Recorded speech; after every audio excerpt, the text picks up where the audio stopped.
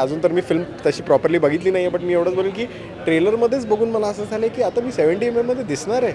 आणि मी असाच दिसणार आहे का? म्हणजे खूपच वेगळी फिलिंग आहे. सेटवर असल्यावर मी तर भारावूनच जायचो. बेसिक गोष्टींमध्ये कॅमेरा मिलिंद सर असायचे कॅमेराच्या मागे त्यांचं काम ते काय करतायत.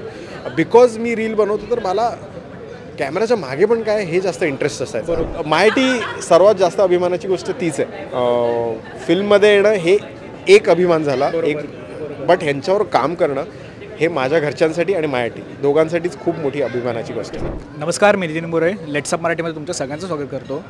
एक असा कलाकार आणि एक असा मुलगा माझ्यासोबत आहे ज्याच्या रील ह्या खरंच खूप चांगल्या पद्धतीने व्हायरल होतात. पण रीलपेक्षा त्याचे वडील आणि त्याच्या वडिलांच्या डोळ्यामध्ये येणारा आनंद अश्रू हा खरंच खूप जवळचा असा क्षण असतो आमच्यासाठी कारण का आम्हीसुद्धा आमच्या वडिलांसाठी खूप काही करू पाहत असतो खूप काही करतो सुद्धा. पण ह्या मुलाकडे बघितलं असं वाटतं की भाई आपल्याला ह्याच्या एवढं तरी नाही जमलं तरी काय हरकत नाही पण ह्याच्यासारखं करायचं माझ्यासोबत करण आहे. कारण खरंच खूप भारी वाटतं जेव्हा पप्पांसाठी तू एवढं सगळं करतोस. कारण का जेव्हा ती रील पप्पा चला तुम्ही पासपोर्ट आणला आहेत ना आणि पप्पांच्या डोळ्यातून येणारं पाणी खरंच खूप जवळचं वाटतं. कट टू नवा कोरा चित्रपट पहिली कलाकृती पहिलं तुझं प्रेम. पहिलं प्रेम असेल पहिला व्हिडिओ वगैरे असेल तर खरंच खूप जवळच्या असतात तसा तुझा एक दोन तीन चार हा चित्रपटसुद्धा पहिलाच आहे.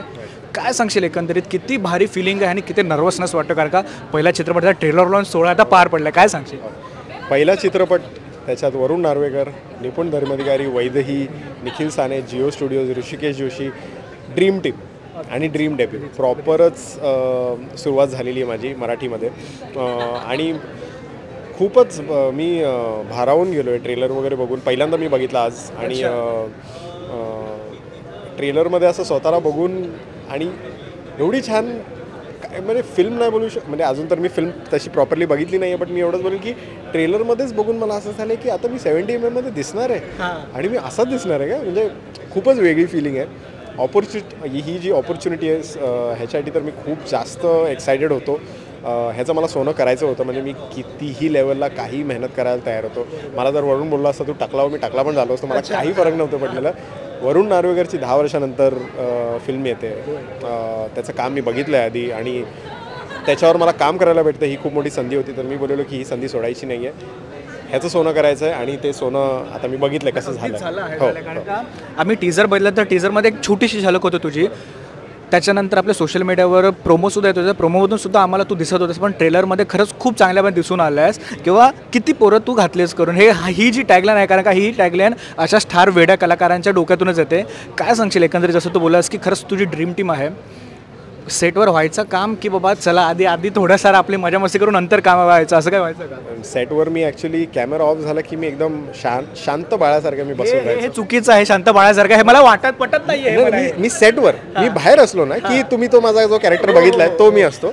सेटवर मी मला असं व्हायचं की मी मस्ती करू नाही करू बिकॉज एवढे दिग्गज कलाकार आहेत. जसं ऋषिकेश जोशी खूप मस्तीखोर आहेत. पण मला वाटायचं मस्ती आपण पण करायची असते का? कारण माहीत नाही ना सेटवर बट त्यांनी खूप सांभाळून घेतलं त्यांनी खूप सपोर्ट केलं. ते असे बोलायचे पण अरे हा एवढं ये ना आमच्यावर जेवायला बस आमच्यावर मस्ती कर. बट मी बोलायचो नाही ठीक आहे मी करतो आपलं. थोडं थोडंसं दडपण असं थोडं झडपड हो की राहू दे भाई आपलं काम करू आणि निघू. मेमरीज जे भेटत आहेत त्यांच्याबरोबर काम करायला त्यांच्याकडून शिकायला जे भेटत आहेत ते आपण करत राहू. सेटवर असल्यावर मी तर भारावूनच जायचो बेसिक गोष्टींमध्ये. कॅमेरा मिलिंद सर असायचे कॅमेराच्या मागे त्यांचं काम ते काय करतायत. बिकॉज मी रील बनवतो तर मला कॅमेराच्या मागे पण काय हे जास्त इंटरेस्ट असायचं. लाईट्स लाईटमॅन काय करतोय मेकअप काय करतोय मार्क काय चालू आहे खूप गोष्टी असतात ते शिकण्यासारखे असतात. आणि मला असं वाटतं की मी या फिल्ममध्ये कशी ॲक्टिंग केली काय केली हे मला नाही माहिती. हे लोक लोकच ठरवतील. माझं एकच आहे की मी भाई खूप शिकलो मला खूप छान मेमरीज भेटलेत. आणि मायाटी ही फिल्म खूप जास्त स्पेशल असणार.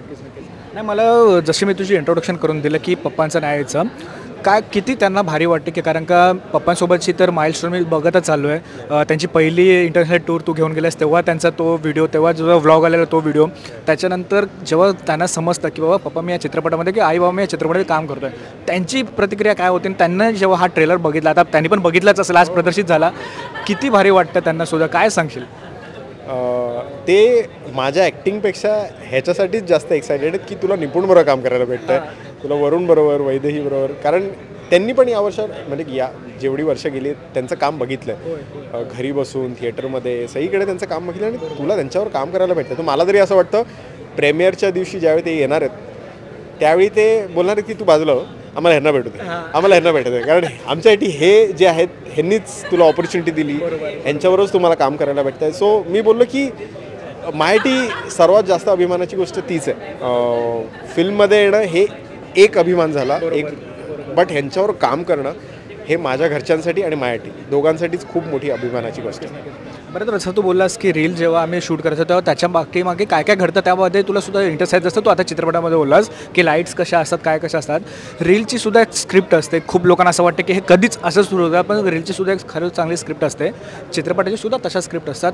एक कलाकार म्हणून आणि एक व्यक्ती म्हणून माणूस म्हणून या सिनेमाच्या स्क्रिप्टमध्ये असा कोणता ट्रिगर पॉईंट करणला सापडला की ज्याच्यामुळे त्यांनी ठाणलं की बाबा मला याच्यामध्ये काम करायचंच आहे? मी जसं बोललो की मी स्क्रिप्ट पण नव्हती बघितलेली. अच्छा. मी बोललो की मला काम करायचं. आहेत म्हणून संपला विषय. मी ती मला त्यावेळी कास्टिंग पण माहीत नव्हती. मला एवढं माहिती होतं निपुण काहीतरी काम करतो याचं वरुण आहे. मी वरुणसाठी साईन केलं. बोलो वरुण बरोबर मला साईन करायचं. बाकी फ्लॉप हिट मेरे को नहीं मेरे को फरक नहीं पड़ रहा. है मेरे को काम करने का है मला शिकायचं आहे आठवण राहील मे बी पुढच्या चित्रपट येस एक्झॅक्टली आणि मे बी म्हणजे मला वरून अजून एक काम वगैरे काहीतरी देईल. सो मी त्यासाठी जास्त एक्सायटेड आहे. सो माझा तोच उद्देश होता की मला नाही बघायचं या गोष्टी. मला फक्त एवढंच बघायचं आहे की माझा डिरेक्टर कोण आहे? माझा माझा ॲक्टर कोण आहे? आणि मी बिकॉज मी एवढे वर्षांपासून चित्रपट बघत आलो खूप सारे वरुणचं असतील किंवा दुसऱ्यांचे असतील मला जास्त अट्रॅक्शन डिरेक्ट डिरेक्टरचं असतं. मग ते तो काय स्क्रिप्ट देईल? बिकॉज मला माहिती आहे की जर चांगला डिरेक्टर असेल त्यासाठी चांगली स्क्रिप्ट असणार. जर वाईट स्क्रिप्ट असली तर ॲटलिस्ट तो डिरेक्शनमधून चांगला करेल. चांगलं करू शकतो आणि ते मला असं वाटतं की हे दोन्ही यु नो पॉसिबिलिटीज वरुणकडे आहेत. त्याच्याकडे ते स्किल आहे. सो म्हणून मी बोललो की स्क्रिप्ट वगैरे नाही बघायची. जे काय काम असेल एक एक दहा सेकंदाचं काम असलं तरी चालेल पण मला काम करायचं. नाही खरंच खूप भारी वाटतं. तुर्तास मी इकडे थांबतो कारण का बाकीचे सुद्धा पत्रकार मित्रमंडळी आहेत त्यांना तुझ्यासोबत गप्पा मारायच्यात जाता आता शेवटच्या प्रेक्षकांना काय अपील करशील? किती धमाल आणि किती मजा मस्ती सिनेमातून बघायला मिळणार? आहे खूपच जास्त. ॲक्च्युली हा यूथला मेसेज देणारा अ, अ, चित्रपट आहे. जसं माझं लग्न नाही झालं अजून आणि अ, लग्नानंतर बाळ होतं बाळाचे कसे डिसिजन्स घ्यायचे असतात काय विचार असतात कपल डिसिजन कसे असतात हे मला ॲक्च्युली चित्रपट बघून कळलं स्क्रिप्ट बघून कळलं आणि मला ती पूर्ण प्रोसेस जाणवली. एका बाळासाठी आपण एवढे विचार करतो ह्याच्याकडे तर चार चार होतात. ती जी प्रोसेस आहे यूथचे आता वेगळे डिसिजन्स असतात. जेनझी मिलेनियल हे यु नो वेगळे वेगळे डिसिजन्स घेतात. त्यांची माइंडसेट काय? मला वाटतं या चित्रपटामधून पूर्ण यूथला जी मला फॉलो करते त्यांना सगळ्यांना कळून येईल की हा डिसिजन कसा घ्यायचा असतो का घ्यायचा असतो. आणि किती स्पेशल असतो हा डिसिजन नाही खरंच खूप भारी वाटतं तुर्तास मी इकडे थांबतो. धन्यवाद लेट समारेटसोबत गप्पा मारल्याबद्दल आणि तुझ्यासोबत तुझ्या संपूर्ण टीमला ऑल द व्हेरी बेस्ट खूप खूप धन्यवाद आणि अं, खूप छान वाटलं गप्पा मारून. एकोणीस जुलैला एक दोन तीन चार चित्रपटगृहात जाऊन सर्वांनी प्लीज बघा. चित्रपटगृहामध्येच जाऊन. येस ऑफकोर्स चित्रपट तुम्ही ओ टी टीची वाट बघू नका तिकडे जाऊन बघा. सेव्हन्टी एम एमवर कसा दिसतो मला हे सांगा.